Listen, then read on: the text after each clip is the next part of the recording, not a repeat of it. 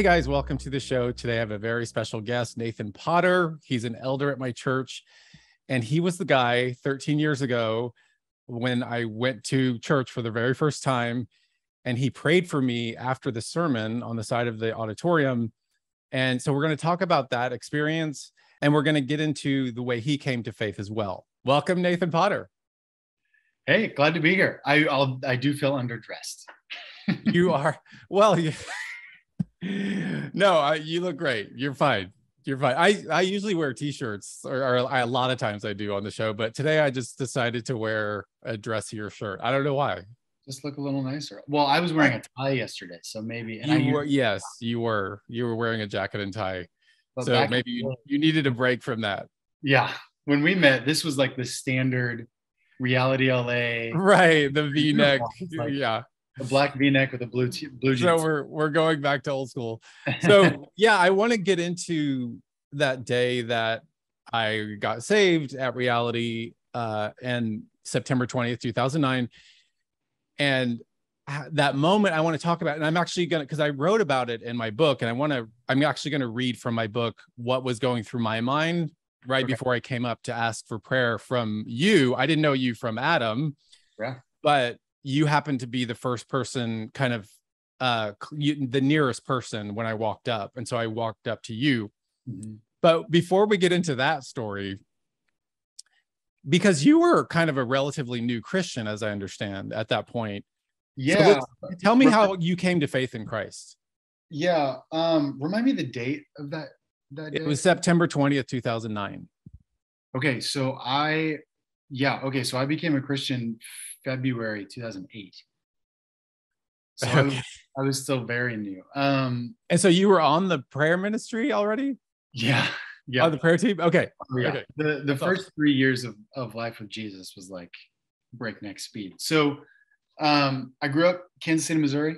Uh, my dad's from upstate New York. My mom's from Georgia, South Carolina um, area, which is why uh, sometimes I sound like I'm from the East Coast, but I also say y'all. Uh, yeah. Little little bit of a combo. Um, and I, I, didn't grow up in a Christian home. I think we went to church once uh, when I was like four. But yeah, grew up just very American secular moralists like there is a God, he is good, just live your life and be good to people, kind of a kind of a thing. Uh, I heard the gospel in high school. Well, when I was a kid, my it's kind of a funny side note. Uh, my the two memorable first memorable church experiences I had. One was I was doing an overnight like a sleepover with my best friend, and his mom was raised Catholic. So we went to mass on Sunday morning, and I think they were still doing Latin. so we were just like, and, and and like, I got in trouble for playing with the kneel bar, and and everything was like quiet and reverent. I didn't know what was going on. It wasn't well lit, and um, they sang the song "Holy, Holy, Holy," and as they, you know, holy, holy, holy, and I leaned yeah. over to my friend and I said, "Cow." and like holy cow and we just laughed for the rest of the mass that was my first church experience my second was uh, his my best friend's father found out that his mother was taking him to mass and as kind of a revenge thing started taking him to a baptist service when he stayed at his dad's house. And so my next church experience was a large room full of people who did not look like me. And there's like a horn section and like bright lights and everybody's happy to be there and dancing. And i was like is this the same thing? Are they doing the same um, but i remember clearly walking away from that and and thinking i don't remember what was preached or anything but i remember thinking like if jesus is who they said he is i want that. Mm-hmm. and that was kind of the end of it. I didn't have any other interaction with the church until high school when I started going to Young Life uh, because of a girl, and uh, and heard the gospel, and it was it was very appealing, but it was still the kind of what I call like the Midwest Jesus is your buddy gospel. Yeah, um, like Jesus just wants to be your friend. Just let Jesus take the wheel. Yeah, and it's it's and it was like life, death, resurrection is very much the gospel, but King Jesus wasn't part of it. Obedience to scripture wasn't really part of it. So I did that for a little bit, got involved in a youth group. They were all doing the things that I was doing before I got involved with with Christian community. And I was like, well, if we're all going to go to church on Sundays, but then like basically sleep with our girlfriends on Fridays, like why yeah. Why bother? why, why am I waking up early and missing part of the Chiefs game if like I'm just gonna live like everybody else? So I jettisoned all that. It didn't make any sense to me. It didn't seem powerful. That was the thing. It wasn't yeah. didn't have power to change. So I moved to LA in 2007 after graduating college. What brought you to LA? Um, acting. I, I went to school for theater. Uh, I got a BFA in theater from the University of, of Central Missouri and I was Chicago or LA were my options. And my best friend, who I was talking about earlier with my church experiences, was in Chicago. He had started a theater company there, and he said, Nathan, I think you do fine up here, but I think you're a West Coast guy. You're going to do better out there. So I came out here. I knew two people. Um, one of them lived in Ventura and was finishing up film school. The other was in LA, uh, following Jesus and pursuing an acting career uh, thankfully, career wise, things went pretty well. For the first nine months I was here, my career without, I didn't know that when you come to LA, you're supposed to have like contacts and network and these kinds of things. Um, I was just trying to call something up from the dust, like, and it actually worked, which is not the norm. Like, yeah, yeah, it was it was wild, but everything else was crashing. I partied my way through college, so when I came out here, I was like, I'm gonna change. I'm gonna like live a clean, healthy California lifestyle. And LA is not interested in you doing that. So most of my friends by the, by by December 20, uh, 2007, I realized that I had two friends in all of California, and everybody else I had gotten to know who said they were my friend basically was like a drinking buddy or a booty call. Those were the options. Hmm. And any meaningful connection was felt impossible. Um, and I felt I just felt dead inside. Got myself into a situation where it was like everything that I had planned for and wanted through my early 20s happened in an instant. And and I got there and I looked around and actually not too not too dissimilar from your epiphany at Fashion Week. Um, it was Fashion Week, right? Yeah. Yeah. In I, I, looked around at the situation and I was like, this is empty and meaningless and I hate it. And uh, how long had you been in LA at this point? Uh, since July. So five months, six months. Wow. well, you got to that really quick. It took me yeah. only 15 years to get to that place. it took you five months. I think, uh, I think I, I grew up now, I, I didn't grow up in a Christian home, but I grew up in a very connected family and I knew what it meant to feel like I belonged, like I had a place, like I had influence and impact, and people celebrated and enjoyed each other and me. My my family's really healthy overall. So so I, I there was just so disjointed um out here. And and I, yeah, I just remember thinking like, I hate you, I hate me, I hate this. All of this is meaningless and I don't know what my options are. It really feels like this is the only way to live. And I hate it. Yeah. And I remember thinking, and, and, I, I may have called it a prayer at the time. I remember thinking, I kind of hope I open the door when all this is over and just nothingness swallows me up. I can't do this anymore. What do you mean by that? Nothingness swallows you up? Like the image in my mind was if this is all there is, I would rather step into a void and just cease to exist. I can't do this. And um, that was a pretty jarring thing because that was Christmas morning, 2007. And you uh, stayed in LA on Christmas morning? No, I was in Kansas City. Okay. And, like manipulated a couple situations to be like, okay, this is the this is it. And uh, and it just wasn't it. So when I got back to LA, I called my one friend who was a Christian and I said, I I need to go to church. The last time I remember feeling good about life, I was around church people. I need to go to church.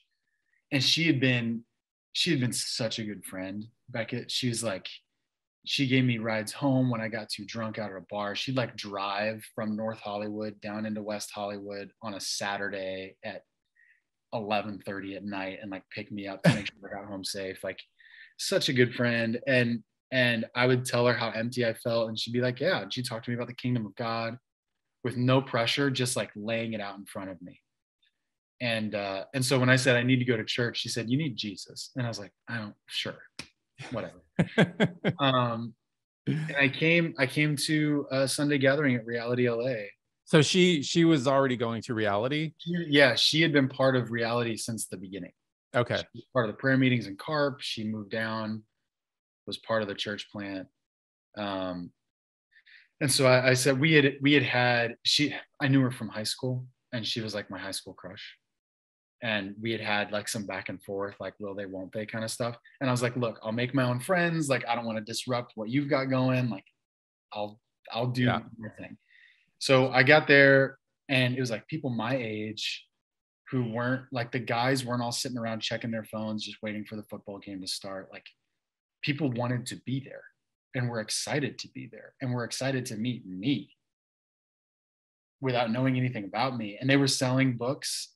So I was like, okay, there it is. Here's the money making scheme. And I was like, looking at the books. I was looking at the books and, and the lady at the the book table, the book table was literally like a folding table with no tablecloth. It was like the most rickety.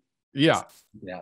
And the the the lady, that she was my age. She's like 24. And she was like, oh, by the way, if you can't afford, if you see a book you like and you can't afford it, you can just have it. That that's that's what Tom, Tom Nearing. Um, the the second week I came to church after I got saved, the week after I got saved, I was at the service at noon, mm-hmm. and I mm-hmm. went up to that book table and yeah. I was, I was like, oh, I need a Bible, and I was there was an ESV Bible, there was a stack of them, and I was like, and she's like, oh, it's we only take cash. at that time. It was so rickety. They only took cash. Yeah. And I didn't have any cash on me. And I was like, oh, I don't have before I could even get the words out of my mouth that I didn't have cash. There an arm reaches around me and hands the the woman a five dollar bill. It was five dollars. And I look at it, it was Tom Nearing. And he yeah. just he just like bought the Bible. I was like, and I still have that Bible and I treasure it because it's it's it's all it's like in a, basically in a frame, not really, but um I treasure so much grace in that moment.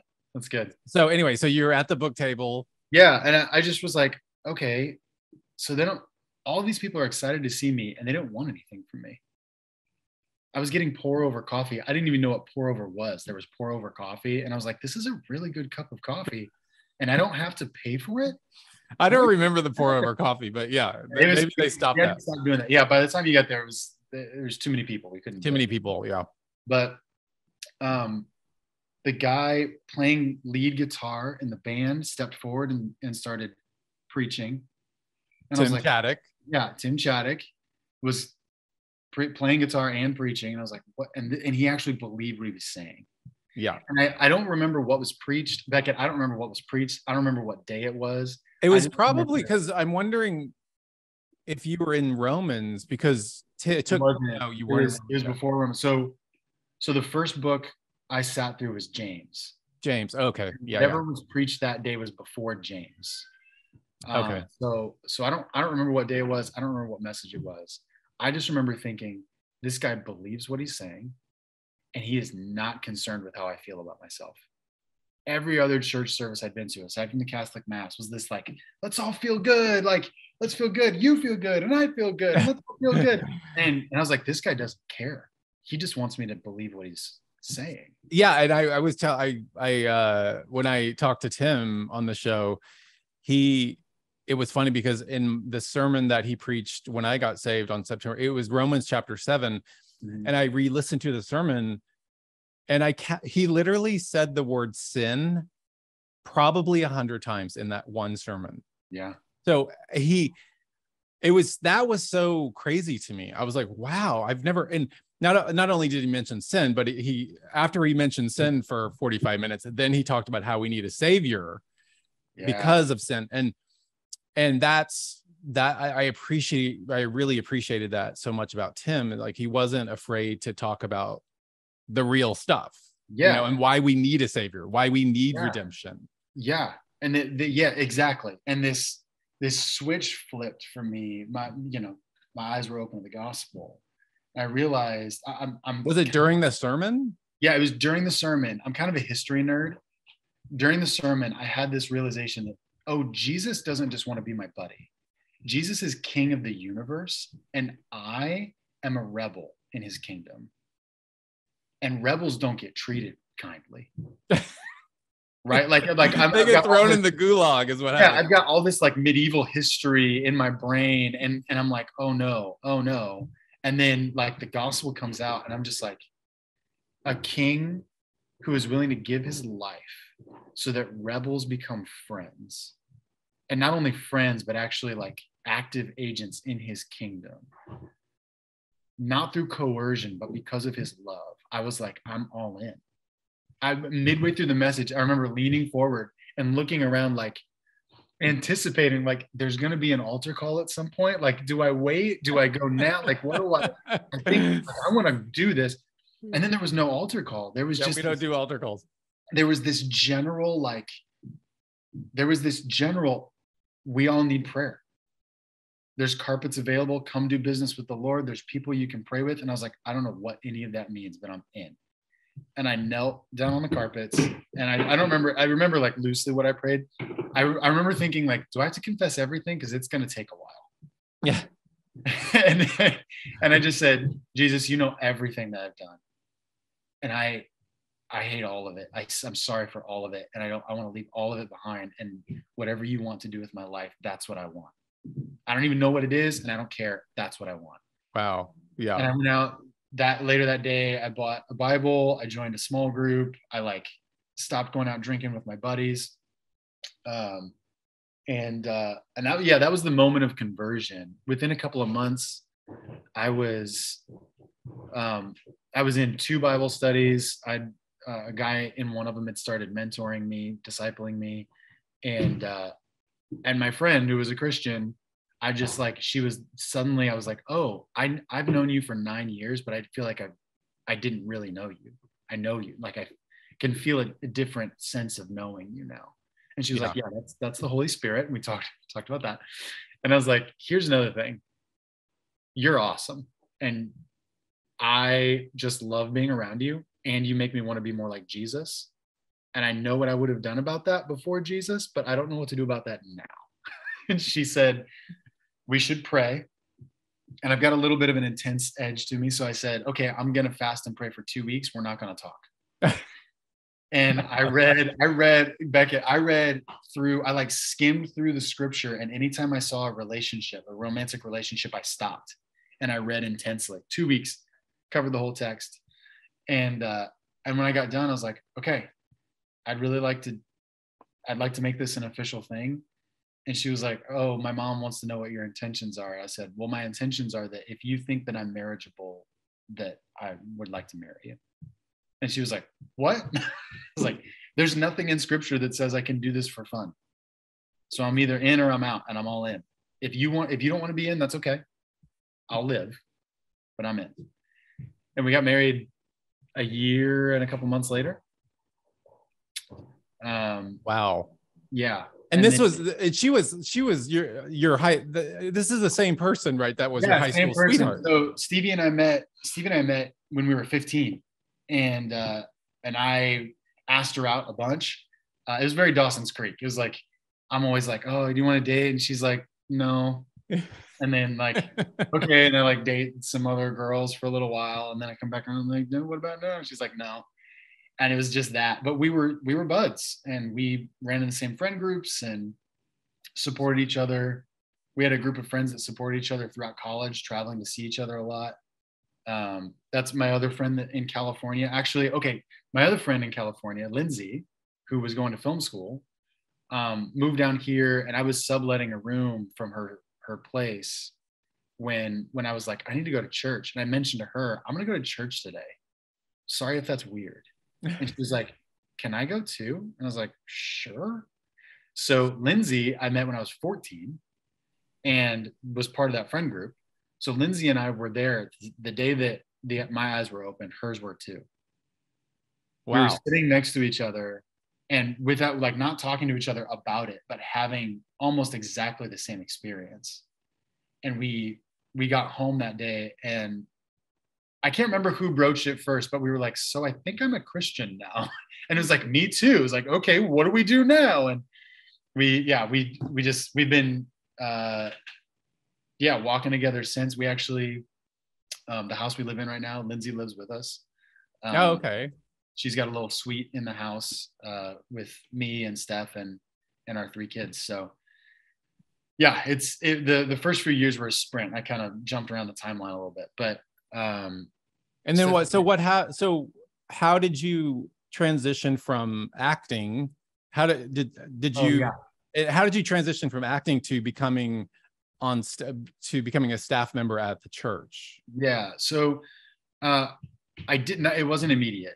I became a Christian. Was like, okay, I I can be a Christian and an actor. I don't see why not. There's nothing in the scripture that forbids that. So great. Um, so I was still doing that, and it was going well. Um, I booked some stuff on my own. I was working for a production company who gave like bit parts to employees who wanted to build a career. So I did a little bit of that. But I was on a set and I was like, this was probably October 2009. I was on a set and I was so excited. It was my first long shoot, two weeks, had a pretty prominent role the director asked for like character arcs and story notes and things like that. So I like did all my homework, right? I've got got a background in this. Great. Let's let's do the work. And I showed up on set and nobody else had done the work. And nobody cared. And it was this like weird like networking but also kind of trying to get things from each other and nobody really everybody's saying let's be friends and like oh, I really like hanging out with you, but like you can feel that everybody's just trying to get something from each other. And I was like, this is gross. Yeah. I don't I don't know about this. And I, I ended that shoot and started praying. I remember the the day the shoot ended, I I was living with a couple of guys at the time, but I was living in the living room because oh no, so this would have been 2008 because I was engaged. So I was living in the living room, uh, October 2008. So I was like six months in Christ. And uh, I waited till they went to bed. And then I got out of bed and I got on my knees and I said, I don't want to make this a big deal. And I know I trained to act. I trained for like seven years to do this. And I moved my whole life after do this. But Jesus, if this isn't what you want me to do, I'm ready for a change. I, I, I think I'd prefer that. Um, and almost instantly, Becket, almost instantly, the Holy Spirit said, um, um, invest in other men, serve my church, love this city. And I was like, it had this like ministry feel to it. And I was like, wrong guy. You're like, not me, Lord, said someone else. Yeah. I was like, you, I like, I've got a girl problem. I've got, I've got a drinking problem. I just got here, like, wrong guy. I did that same prayer with almost the same response for two weeks. And over the course of those two weeks, the guy who was discipling me pulled me aside one day. I didn't tell anybody what I was processing. The guy who was discipling me, Justin Much, God bless him, lives in Montana now. What a great guy.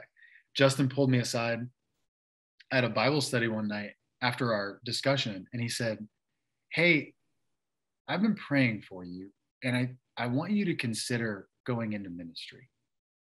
And I was like, stop reading my journal, man. What are you talking about? And he like, he just very gently, like he laughed. And then he very gently was like, here are the things that I see God doing through you. And that doesn't necessarily mean a call, but it might. I want you to consider it. And then another thing, like in that same two week window, Tim on a Sunday. Tim Chaddick, who was the pastor of our church. Right. Yeah. Chaddick, uh, Tim Chaddick wasn't feeling well and he was getting ready to preach and i was like hey man can i pray for you like i don't want you to die or anything and it's just kind of like joking and he was like that's all right if i did i know you'd just pick up the pulpit anyway and i was like what is happening and I got coffee with him a few weeks later, and I said, I, have been praying, and I don't know. I, it seems like there might be a call to ministry in there. And he was like, Oh, I know. I've been praying for you. I, I know. And I was like, What is happening? And he was like, I want you to lead a, a small group. And I like I wasn't even a year in at that point, which was crazy to me. So so I prayed about it. Um, and in the spring, I like after a bunch of prayer and talking through everything, and and Steph, Steph and I were engaged at the time. She goes by Stevie. Her given name Stephanie, so I switch. Sorry if yeah, I know that that could be confusing to people. Yeah, sorry everybody. I, yeah, just I I'll try to be consistent. Um, she was like, I, I don't, this is, I don't want to be a pastor's wife. And I was like, I, am not going to say no to Jesus. Like I want to do. Um, she settled on it. And I, I just like emailed all my contacts one day and I was like, Hey, I've been called away from the industry. I love you guys. I've loved the work we've done, but I'm out. Um, and then I sent a separate email to my friends in the industry and I was like, Hey, I'm out, but we're friends. So if there's a thing that you're like, hey, I want to work with you, like, of course I'm open to that. This just isn't my career anymore. Yeah. And I went and got a job, uh, and then I got laid off from my job. I just got a job working retail. So Stephanie and I started, Stevie and I started uh, a community group in April of 09. We got married in May of 09. Uh, that summer, I got laid off in June June 1st. Um, but I got laid off with like three months severance. And we had the London prayer tour. Oh, right. The first attempt at, at reality in London. Yeah. And uh, that was in August. And I was like, nobody's going to hire a guy and let me take 10 days off, like right after you hire me. So I'm just going to ride this severance out and do like full time reading, praying, talking to people, hanging out. So I did that over the summer, went on the London prayer tour, led a team on the London Prayer Tour for some crazy reason. Uh, and Tim was like, You're leading. And I was like, What? And then when we got back, Tim called me and he said, Do you want a job? I was like, Sure. So I got hired part time to do whatever administrative thing needed to be done. I was all over the map. Um, and then I went full time June of 2010. Wow. Yeah and now you're an elder. Sprint. Yeah. Yeah. So that that i mean that's a much longer road but yeah the the pastors brought me in uh into the room in 2016 and said hey we see the call. We affirm it. We think you're ready. Let's start developing you. Um, and i was ordained in 2018 september wow. 2018 so i was baptized in september 2008 i was ordained in uh, September 2018. Amazing. Amazing. Yeah. Well, praise God. Well, okay. So I yeah. want to get to the book and I want to read what I, I say about kind of the moment. Yeah. So this is September 20th, 2009. Mm-hmm. I, you know, I go to my first church service, evangelical church service ever. And I hear the sermon from Tim Chaddick the pastor, Romans 7. Mm-hmm. And I, obviously, you know, people know this, but I just like completely uh, resonated as truth in my mind and my heart. And I was blown away by the sermon. And then after the sermon, Tim would say, you know, there's, you know, there's people, there's a half hour of worship time after the sermon. Mm-hmm. So the lights kind of dim a little bit. And then he's like, there's people on the sides of the auditorium. And if you need prayer for anything, feel, you know, free to go ask for prayer. Yeah. And when he said that, I was kind of like, oh my gosh, what is that? And so in my book, I said, I considered going over to the side of the auditorium and asking for for prayer, but doing so would mean admitting to myself that this all could be real. And I wasn't sure I was ready for the impact such admission would have on my life. Mm. For some reason, a thought came to me that uh, the people who invited me to church were probably watching every move move I made. So I just stood there frozen, simply too embarrassed to move. As the music c- continued, I kept feeling the pull to ask for prayer. I would take one step forward, then immediately step back. This went on for several minutes. I must have looked ridiculous as I wrestled internally with myself. Finally, I just thought, you know what? I'm here. I might as well do this. So I walked down the aisle to the right side of the auditorium and went to the nearest person I could find on the prayer team. And that was you. And I said to you, quote, Hi, I'm not a Christian and I don't know what I believe, but I'm here. Mm-hmm. Which I when I when I speak at places, I always say this is like a Christian's fantasy come true. Like, hey, I don't know what I believe, but I'm here. Um, and and then you immediately responded, okay, let me pray for you. And he and I said, go on. I'll just this is the last part. He laid his hands on my shoulders and uttered a long and powerful prayer. I don't remember exactly what he prayed, but I remember thinking, why does this stranger care about me so much? There was so much, there was such a sense of love in his words and a tone that I was and tone that I was deeply moved by. Uh, mm. After I after he finished praying for me, I thanked him and made my way back to my seat. And of course, that's when it all went down. The Holy Spirit was like, but do you remember that moment that when I walked up to you? I do. Um, I do. And I, I remembered it. I remembered it for a long time before, before seminary, before the book. Like, I just remember like that it, it stood out to me too for, for a long time. Um, there was, I was on the prayer team every week. There were a lot of people I prayed for. Uh, but you you stood out and I, I don't i don't remember what i prayed either but i remember the feeling um my sense was that god was doing something in you that you couldn't comprehend and therefore i couldn't be fully aware of uh i don't remember what words i prayed but i remember there were like two themes one was uh that that you would know the overwhelming affection of Christ. And the second was that he would give you a love for the word that would that would um the idea was that the love for the word would then become like the bedrock center of your life that then incorporates everything. Yeah uh, encapsulates everything else. Th- those are the two things I remember, like the idea of. So then, as things were happening in your life, I was like, "Oh my gosh, that's crazy!" how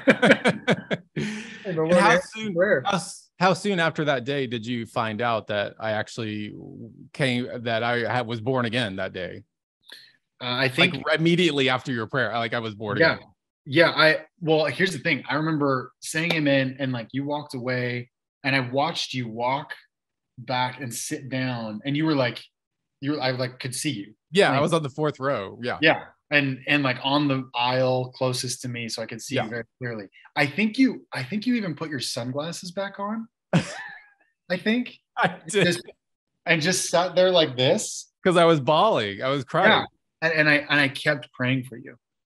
Um, and I was praying that that the Lord Jesus would like change your heart in that moment. Um, did you see me kind of like doubled over in tears? Because I was, I was like, I, I remember somebody, at that point. I think somebody else. Oh, okay, okay. But yeah. I, I, definitely saw you sit down and, and do one of these. Um, kind of shield your eyes with all, also having your sunglasses on in a dark room. Amazing. Like, There's something going on there. Uh, whoever found out first told the staff like immediately.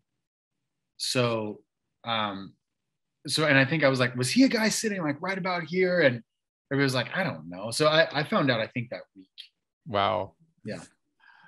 That's amazing. Yeah. Um yeah. And it's it's kind of those moments like, you know, stepping out and it's like the, you know, God meets you like when even just kind of taking that like you did when you went to church that day and i did you know when when i was invited to church and i was like if i go you know i could be this could be humiliating and like what if my old friends find out that i went to a church uh, service? They would think i'm insane. And right. but it's like taking that like step into church and then kind of taking that step to get prayed for because it was i felt again it was like this pull i felt and it's like when you're obedient to god's call like that's he meets you there i mean the same thing what happened with me in seminary when God called me to seminary.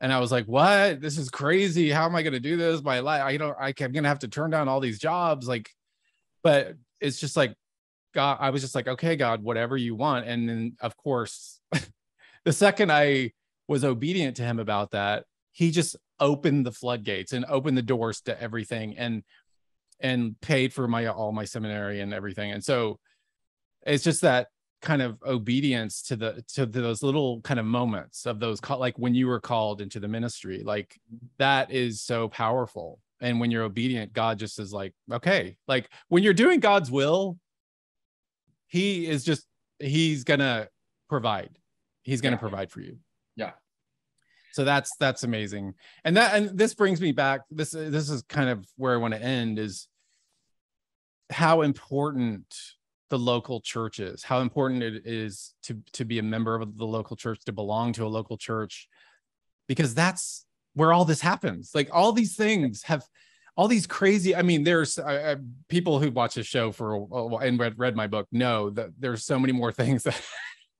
so many amazing things that have happened at church services and and that's where stuff went goes down and and, and it's so i mean that's I, I'm kind of uh, I'm not giving kind of a theological explanation of it, but th- it's just so crucial to be a part of a local church. Yeah, I think I think actually the local church is where it goes down is a great theological sign. um, yeah, I I you know for a long time I was uh, the uh, driving voice behind our community group structure and vision. And one of the things that we talked about continually was the local church and the and the the local manifestations of the church. Sunday gatherings yes. Also small group bible studies community groups life groups whatever your church calls them. That's the kingdom of god showing up on your couch. Like the the the the will of the cosmos is bent towards god's kingdom and you get to see it happen in your living room. Yeah. That's just i mean that by itself i hope just blows us away continually. And and if we we want to see if we want to see god's kingdom if we want to seek first the kingdom right? We want to see it manifest. Like the local church is the place to do that. Um, i think paul says in first corinthians if you want to see the gifts if you want to see like if you want to seek after like manifestations of the holy spirit at work in your life he says seek to build up the church. Yeah that's it's what for that's what it's about. Yeah it's funny because even uh you prayed for me yeah last night and i it was funny i think it's this i think it may be i mean i could be wrong but i think it's the the, the second time you've ever prayed for me like so it was like for in 2000 in 2009 and then last night right or i could be wrong uh, there's, but, there's probably other times but I've, yeah but i what, what's crazy about, i wasn't on the prayer team so what's crazy about that moment last night is I didn't want to get prayed for. I wasn't in the mm-hmm. mood. I wasn't, but again, I felt this kind of pull by the Holy Spirit. And I was like, uh, I have to go get prayer.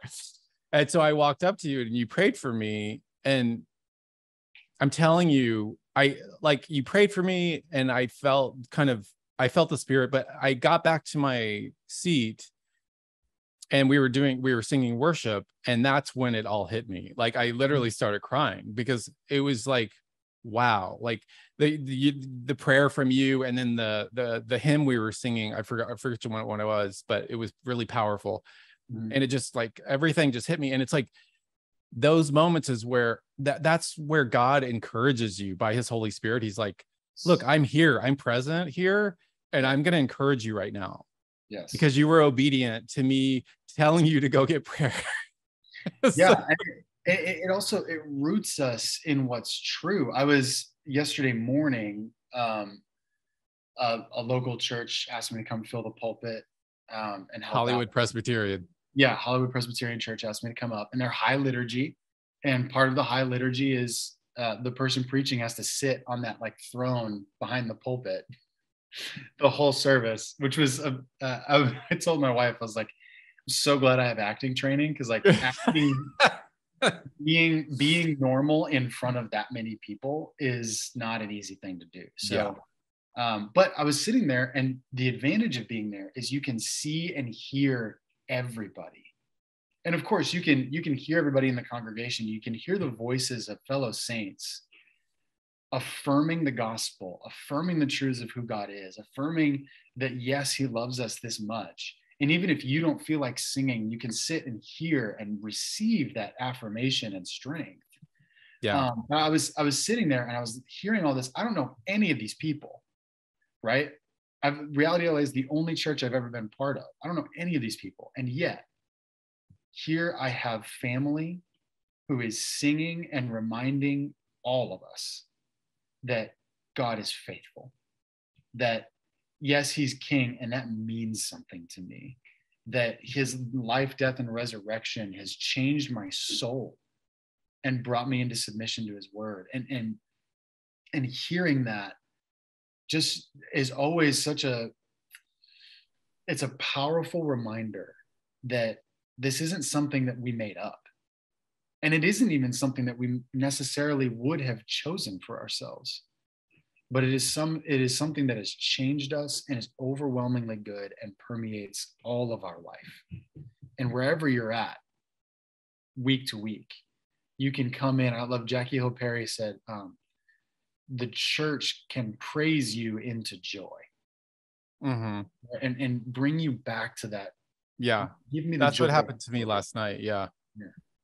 Yeah. Well, we're gonna leave it there, and um, I, I mean, I just, I just as a, because I just forgot to mention this. When I, when I go, when I speak at different conferences and churches, I always refer to you as, because I, I, I, I talk about how I went up for prayer to you.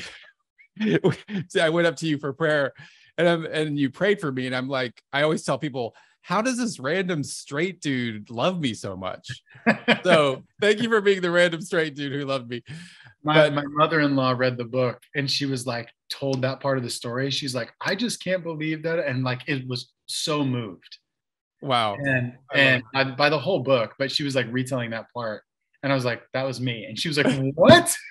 Loved, loved that Wow. Well, praise God. Thank you, Nathan Potter, for being on the show. yeah thank you man it's it's great to be here always great to talk to you we should do this more But- Let's do like it. We'll do it once a like- week. We'll do a weekly show. a latte and uh Yeah. Better Yes. All right. Well, thank you guys for watching, and we'll see you next week.